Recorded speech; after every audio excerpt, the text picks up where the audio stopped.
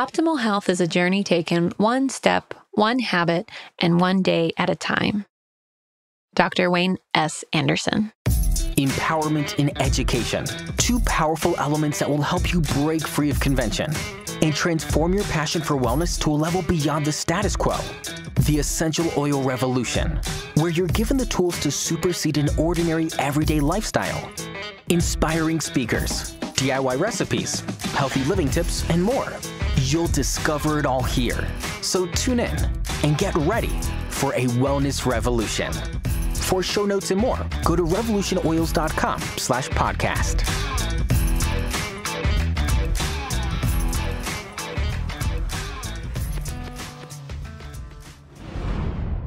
What's up, revolutionaries? Samantha Lee Wright here. Thanks so much for tuning in to the Essential Oil Revolution. Dude, today's show is so much fun. I've got the producer, director, maker of this new film. I don't know if you've heard of it.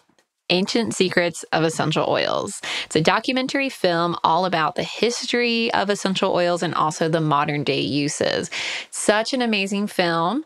Rich Praytor is the creator, and we're going to hear from him behind the scenes what it was like to make the film and his favorite moments. And we'll even have some sound bites in there for you to get a glimpse of the film itself.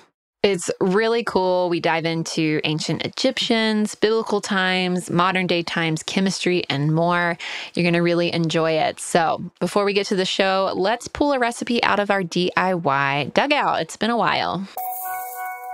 This episode comes from Maria, who is a music teacher in Spring City, Tennessee. And to help her wake up in the morning, she puts in her diffuser her morning wake up blend, which is three drops stress away and two drops of peppermint first thing in the morning. Then, when she comes home, she's got to wind down from all the teaching, all the kids. So she puts in her diffuser her favorite evening break blend, which is three drops stress away and three drops of lavender. Thanks, Maria, for these diffuser blends. They sound dreamy. Hope you enjoy, everyone. And always love to hear your favorite recipes. Email us at revolutionoilspodcast at gmail.com.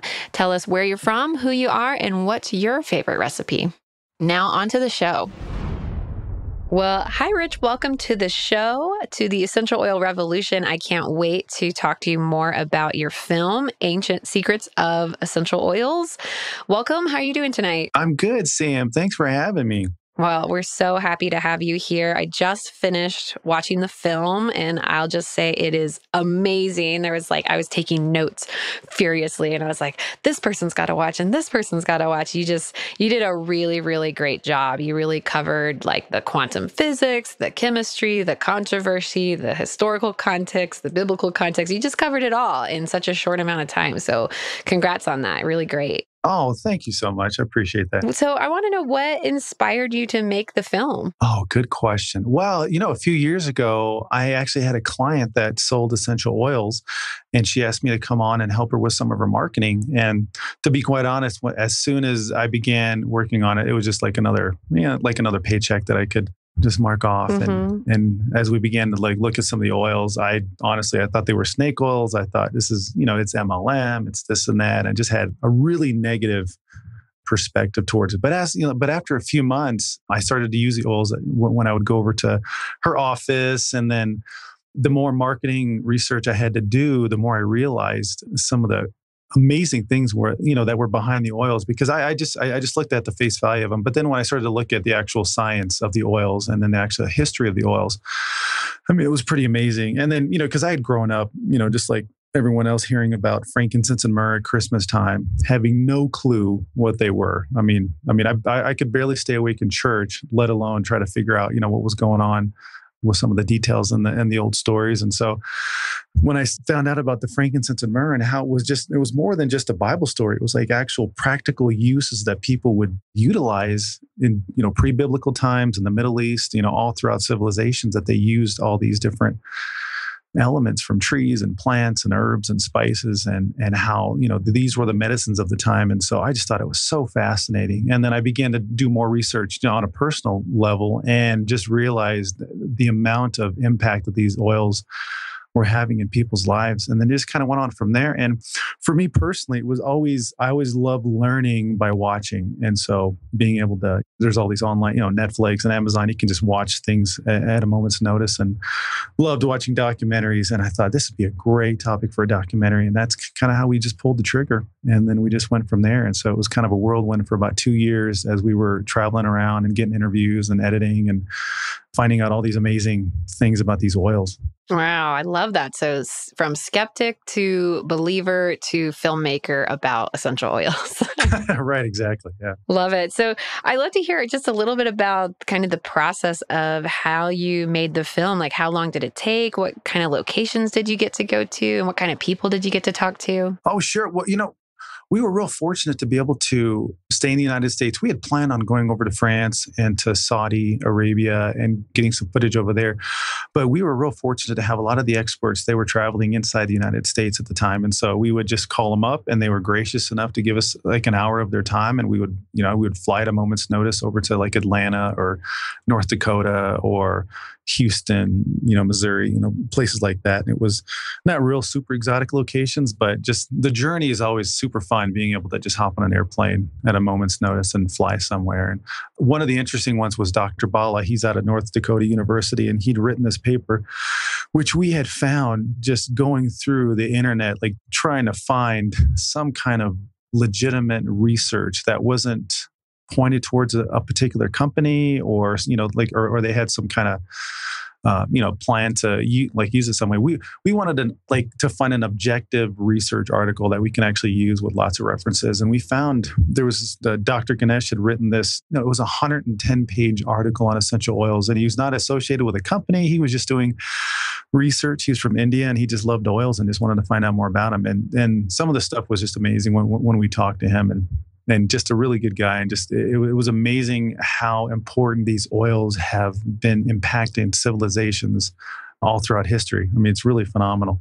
Yeah, and speaking of, I loved the part about the ancient Egyptians and just how they would use the oils every day. And, and, what was it about the way they would put it on their heads and it would melt down? What was that about? Right, right. Yeah, they would soak wax or beeswax in myrrh and they would put it on top of the heads. And so, you, you know, I, am sure you've seen the ancient hi- hieroglyphs or pictures of these ladies wearing these big cones on their heads and they're walking around.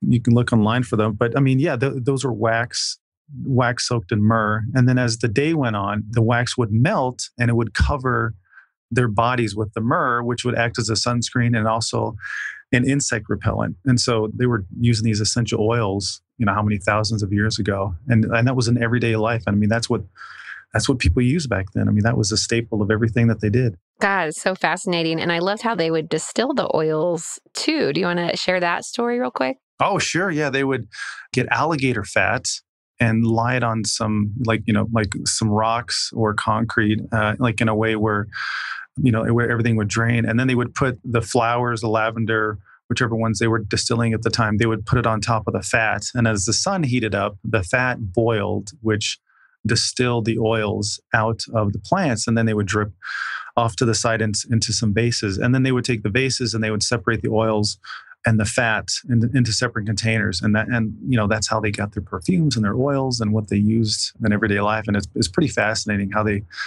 the ingenuity to be able to, to distill an oil like that is just is really amazing yeah, I think we take for granted today how just how well I'm putting in quotation marks here how easy it is now yeah, to distill right. essential oils because it really is is not an easy process. But compared to I suppose back in the ancient Egyptian times, we we have it pretty easy. I mean that also makes me think about the part in the film where they're talking about the worth that these essential oils used to have, you know, like in biblical days. And what was it that uh, it was Dr. Josh Axe was talking about how much a, a bottle of essential oil was worth back then? Something like $10,000 for a bottle of, you know, in today's standards. They had guesstimated it was about 300 rubles, or yeah, I think it was 300 rubles, whatever that was, you know, for that jar of, of perfume that they had. And then it was like one day of work was worth one, like one of those rubles, I think. I can't remember what the actual, they were really just in any time period these essential oils and resins and and herbs and spices have been, you know, just they, they've been invaluable to people every day, like in, in whatever civilization they were in. Yeah, absolutely. Well, you have so much practical advice also coming out of the film as well. It really gives you practical ways to use the oils, but then also sort of the science and the why behind it, which I thought was really great. Do you mind? I would love to play this clip when Dr. Oliver Wenker, or Dr. Ollie as he calls himself, um, was talking about peppermint and using it for athletes. So yeah. I'll, I'll go ahead and play that clip just for people to get a taste of the film. I use oils to improve athletic performance or exercise performance. So I use that with professionals, with athletes, but as well with people like me that just want to improve the exercise. When you take peppermint and you, you, you rub it on your muscles and you inhale it, ah, you're getting more air. Well, the reason for that is you, you're opening your small airways in your lungs. So therefore, you're getting more oxygen, and the oxygen will go into your blood, and now you have more oxygen delivery to your muscles. So that will lead to a longer muscle contraction before you reach what we call a lactic threshold. The lactic threshold is when you don't have enough oxygen and you can produce energy with your muscles, the muscle will start using a pathway that does not use oxygen. We call this anaerobic pathway, and it will create lactic acid. So when you build up a lot of lactic acid in your muscle, then the muscle will quit working. So how easy it is just to use a little bit peppermint and the lactic threshold goes up. And so I use this for my workout. I use this with athletes. I use peppermint. I use other oils. I use oils that already prevent the soreness of the muscle when I'm done with the workout. I can work out better. I can work out longer. You take one drop of peppermint in a glass of water just before you work out. Your grip strength will increase by 34%. Your vertical jumping will increase 7% and your long jumping just out of your standing will increase 6%. Why is that? Because you just got more oxygen in your muscle. So I use peppermint not just rub it on my muscle and inhale it, I also put one or two drops in my drink. And so I increase my workout performance. So yeah, so we Doc Ollie was just I mean he's been involved with researching essential oils the past four to five years. And some of the science you know that he found was you know like was was, was really amazing being able to use peppermint on your on your on your muscles and you you being able to increase your vertical jump by a few percentages and you being able to lift more weight. And it, it's amazing how I love how he honed it down to numbers. It's like like if you use this oil in this certain way, you know, you're going to help your body be able to do this and or recover faster. And so, and you know, and actually after that interview with Doc Ollie about those percentages with the peppermint, he's like, I actually went home. You know, I went back to my my home and grabbed a, you know, he, he gave me a bottle of peppermint and I grabbed it and I was just like rubbing it all over my body. just like, you know, trying to be able to dunk or something. But, but yeah, I mean, but it's just, it's amazing how these oils have, can just really help the body either heal itself of something or just be able to perform better on a daily basis. And I don't think people can, I don't think people realize the impact and how powerful these oils can be. Yeah, it's really amazing. And then I think it was soon after that that Dr. Ollie went in to have his brain examined, or maybe that's the wrong word, I guess, scanned about the oils. Um, and that was a really interesting part. I feel like you probably didn't have enough time in the film to give it justice, but do you want to kind of share with everyone what that part was all about and sort of what your big takeaway was from that part? Sure, sure. Actually, when when he sent us the footage, I was going to go in and edit out his brain and send it back and saying we didn't find anything, but I didn't think that would be really funny. But he, um, yeah. So he was he he actually went to a uh, it was a brain. There's a 3D brain imaging place that that he went to in Las Vegas, and when he was there, so he got hooked up and got his brain on the monitor. And what he was doing was he was inhaling peppermint, and then he inhaled lemon, and then he inhaled frankincense uh, all at one, uh, you know, like individually and then all at one time. And the effects that the that inhaling the oils had on the brain was amazing. I mean, they were they were looking at the at the left side of the brain and the right side of the brain, and positive emotions and negative emotions, and and when he would inhale, you would see parts of his brain just light up super red, or it would be, or it would go down really calm. And depending on what he was inhaling, and then uh, it would affect some parts of the brain. And so it was really, it was really amazing being able to see how peppermint and lemon can put you in a good mood, and how frankincense, if you inhale that like over a certain certain period of time, or if you do a combination, it can really boost up your creativity. It can give you more focus. It could give you more motivation And so there was been a lot of, uh, and he also discussed some of the research, you know, with with maybe kids that have attention deficit deficit disorder and being able to, to maybe diffuse some of that in their rooms at nighttime and you know help their you know help their brains calm down a little bit and being able to focus more in school and things like that. So it was, it was pretty amazing, and I don't think no one's. This has been the first time that it's ever been on camera where they've actually recorded it and you know been able to show it to the public that you know how powerful these oils can be if, if you inhale them a certain way and how they affect your brain. Yeah, well, and I loved when Dr. Stewart sort of really told us exactly why that worked. And I love Dr. Stewart. We've, he's actually been on the show before, and he just has a way of explaining the mechanics and the science behind all of this that just makes it so interesting and so fascinating. I'd, I'd love to play one more clip from the film, just from when Dr. Stewart was discussing the way that essential oils affects the emotional part of our body. Why are oils seemingly becoming more popular in today's time. And I've noticed a great increase in the interest in oils just in the last 15 years that I've been acquainted with them. A couple of reasons for that. People are discovering that the pharmaceuticals are not working. Instead of making them well, they often make you more sick. You know, you end up overcoming this problem and acquiring a side effect which is maybe worse than your problem. They're beginning to wake up to the fact that Pharmaceuticals and medical practice in general is designed for relieving symptoms, not getting to the root cause of a disease. So you just simply get rid of one set of symptoms and you have another because you really didn't address the problem. And so they find out that essential oils actually address the roots. Most of the diseases that we have have emotional and spiritual roots. They're not physical. And if you treat only the physical side of things and you still retain the emotional unresolved problems, then you may resolve one illness and just get another. We have five senses. Four of those senses process through the cerebrum up here, which is your conscious rational mind. But the nose does not. The nose circumvents this part of the brain, goes under that into an area called the limbic brain, it's the emotional brain, it's not rational. And fragrance goes straight to that part of the brain. But that is the part of the brain that is the librarian and cataloger of all of our unresolved emotions.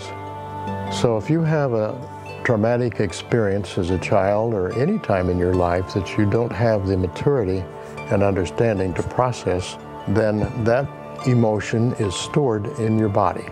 Those experiences have to be resolved. If we can't resolve them at the time, then the limbic brain says, okay, we're going to save that for later, and it'll put it somewhere in your body. Let's say that puts it in your pancreas. Let's say that's a good place. We can put that particular experience there. 10 years later, you don't even remember it. It'll start malfunctioning as a pancreatic malfunction. Now, the medical people are going to say that's just a physical problem, and they will treat the physical idea, but that doesn't deal with the root. And let's say you don't get it, and after a little bit of hypoglycemia or some problems in that regard. That's your pancreas trying to tell you there's an issue, it's here. If you will work and call it up and deal with it, it'll go away. But you don't get it, and you're not taught that in normal health classes or books on medicine. I love that. And it's something that no one really talks about, um, and especially not in Western medicine for sure. And what did you think? You know, what were your first reactions when you heard him talking about this? Well, to be honest, when I was at his house, we were doing the interview. I was in awe of all the information he was telling me because I was I was showing up, you know, mostly because he had written that book, uh, Healing Oils of the Bible, and I kind of wanted to, you know, get some biblical history of the oils, but it was just so much more knowledge that he has, and especially about the emotions in the Bible. And just hearing him talk about how and it made sense about you know when if you have some kind of trauma as a child and you know a, a, lot of people the way they deal with trauma is they forget about it and they repress it but it doesn't really go away. It just goes in certain parts of your body. And you know that's the, that's just the way emotions work. And so those you know so that trauma that emotional trauma can wind up and stay in your body for years and you can never know that it's there until it manifests itself and let's say like the pancreas or the liver or some kind of illness that you have. And to really instead of and, and a lot of people mis misdiagnose that because they want to you know try to you know either heal the liver or do some kind of medication for the pancreas and things like that. But what you got to do is you have to deal with the emotion, like, you know, on, on an emotional level. And then you're, you know, you know, then you're on your way to the body correcting itself. And so his knowledge of that was just amazing. And being able to bring up those past emotions through the use of oils, and then, and if you use them in a certain way and, and, and in a correct way, that you can really bring back, you know, some of that trauma back there. And then you're able to deal with it as an adult and then kind of just go, okay, you know, and then move on from there. And then you don't have to worry about it anymore. But it, it, it's amazing how physically the oils can really impact your body, but then also emotionally, how it can really, you know, go places where medicine just can't. I mean, like they they just don't have access to that parts of your of your body, just like oils oils do. Right, exactly. And and the real world applications for this are so I mean they're limitless. But I liked when he was talking about the learning block. How did he say to get past a learning block? Oh, it was getting a drop of cedarwood oil, putting on on your right thumb and then pressing your right thumb up against the roof of your mouth.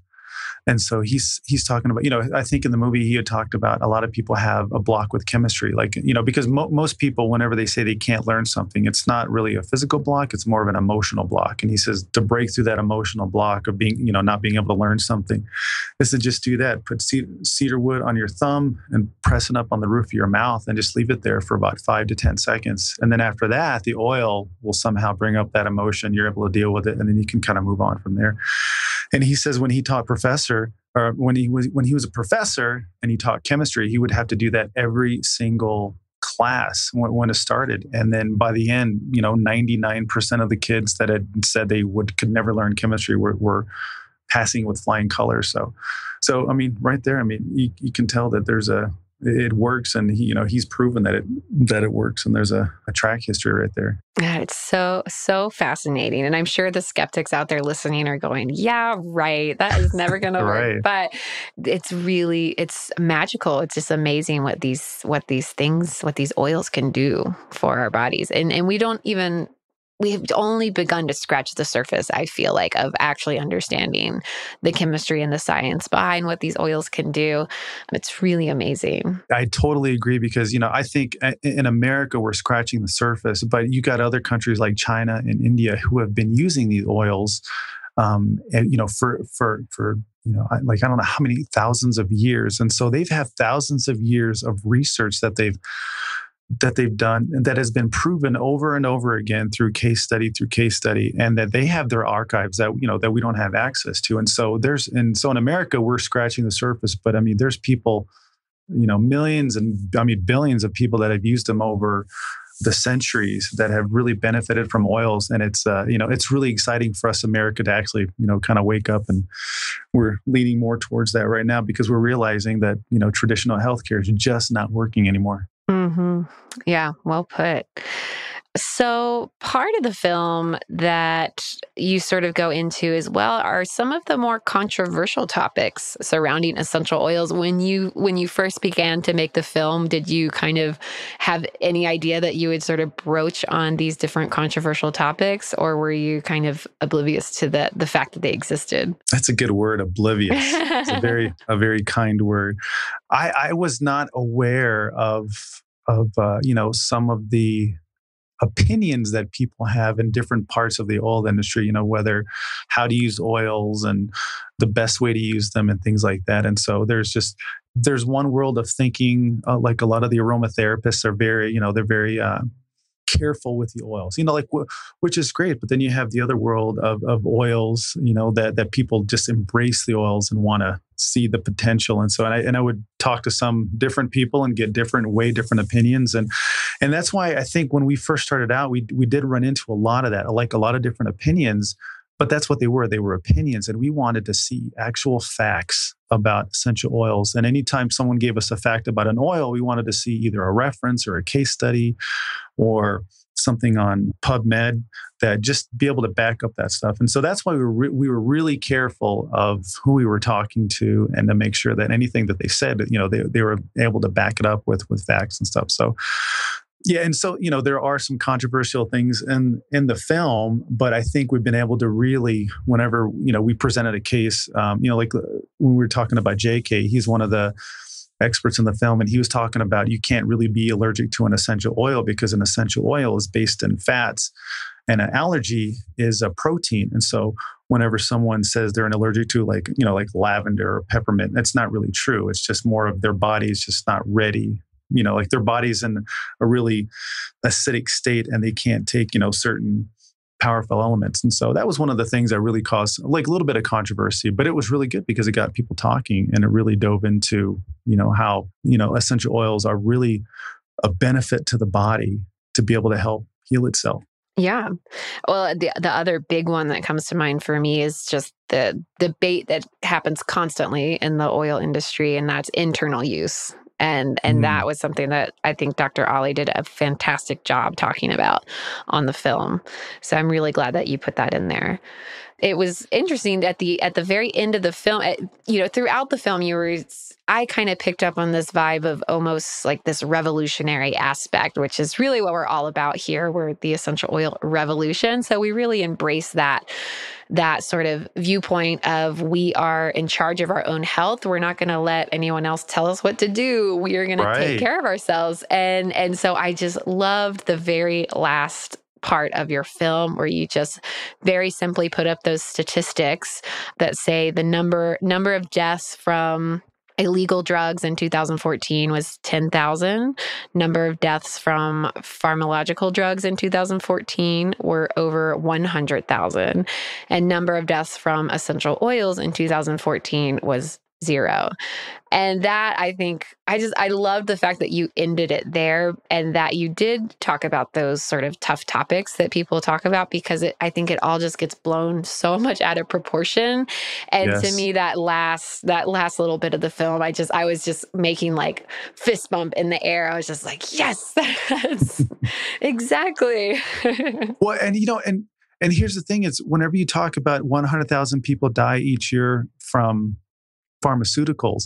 That is people using pharmaceuticals correctly. Like that's not even people right. that are abusing the pharmaceuticals. I mean, that's people who use them correctly and they're dying every single that year. are told to take them by their doctors. Exactly. Yeah. This is ex- they're they're following the instructions and they end up dying. And so it's like, um, and then J.K. Um, you know, he had a really great point about, um, you know, like whenever there's a, a a drug that's introduced to, you know to the American market, it usually lasts about 10 years because that's about a 10 year case study. And then they realize that this drug is actually doing more harm than good. But then you have these essential oils that have been used over thousands and thousands of years in India and China, and they continue to use them because they continue to work. And so if we could just get past some of these I don't know, real cautious regulations about using essential oils. I think if we can really deal with those, I mean, we can really bring some, you know, quite a bit of uh, really beneficial things to to the American people. But again, it always comes down to the you know the almighty dollar and uh, mm-hmm. wanting to sell more pharmaceutical drugs as, as opposed to really helping people. Anyway, yeah. but that's just my opinion. Yeah, you know, and it's it's the the system that we're in has so many confines. The system was not built for essential oils. I'll just say that. So, you, you know, I think there are people, you know, in the FDA and even doctors even that that probably would really like to learn more and would like to see people utilizing these all natural methods more, but it's just within the confines of the system that we're working within. It's just really hard for us to find that information and be able to talk about it openly. I mean, even on this podcast I'm so restricted on just what I can say. And, you know, it just it makes it really difficult. But I do I do agree there's part of it is definitely money. I'll have to say that, right. but not all of it, I think. But I, uh, well, I just love what you're doing. I love the film. I hope everyone listening goes out and watches it. Um, the best place to go find it is essentialoilsmovie.com. Is that correct? Right, yeah. EssentialOilsMovie.com or EssentialOilMovie.com. We, we we think we got all the domains. That was like smart. Secret movies. good, good. Film, all that kind of good stuff. That is so awesome. Well, I want to hear more about the feature film, and I have a few more questions for you. But real quick, let's take a minute to thank our sponsors. This episode of the Essential Oil Revolution is brought to you by the Young Living Premium Starter Kit. You guys, if you have not tried out the Premium Starter Kit from Young Living, you are missing out. I actually did a whole episode about just the Premium Starter Kit, episode 50, where I told my story and dove more into the kit. So, for those of you that haven't tried it out yourself, it really is the Cadillac of all essential oil starter kits. You get 11 of the most popular essential oils, plus, you get to pick which diffuser that you want to come in your kit. It's an amazing deal, and you can learn all about it at revolutionoils.com. It's great because you don't have to think about, you know, which oils you want to try first. It, it hooks you up with that diffuser, which is my favorite way to use essential oils for sure. It also comes with amazing resources and references for you to know how to use those exact oils. It also has fun things like Ningxia Red samples, little travel bottles. It is truly an amazing kit, and it's just beautiful. It comes in this beautiful box. Anyway, you know what I'm talking about. Most of you have already started with your starter kit because that's how 90% of people get started when they decide to try essential oils from Young Living. So, again, that's revolutionoils.com. Check it out there or talk to any of your local distributors that you may know. So, Rich, before you go, we like to ask our guests the same questions every time before they leave, just to give our listeners an idea of all the different ways that people stay healthy and different things that people are interested in. So, can you just real quickly share with us what your daily health habits look like? My daily health habits. Great question. Well, you know, one of the biggest things when I start my day out is is uh, I always have a big glass of water with lemon and peppermint, and then I also do a high fat kind of coffee.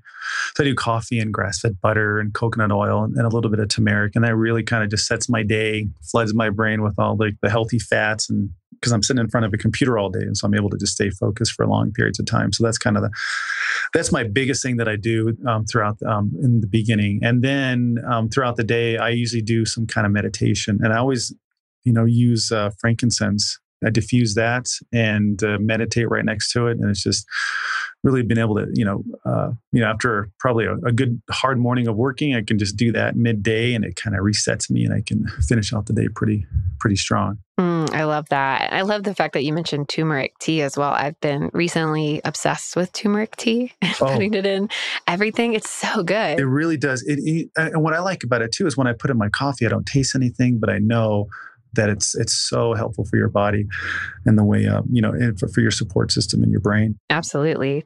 And then finally what's just one thing we should all ditch completely and replace with something healthier today? Oh well i'll tell you i mean for me the thing was i i haphazardly just on a whim stopped eating bread for two weeks and i lost 12 pounds.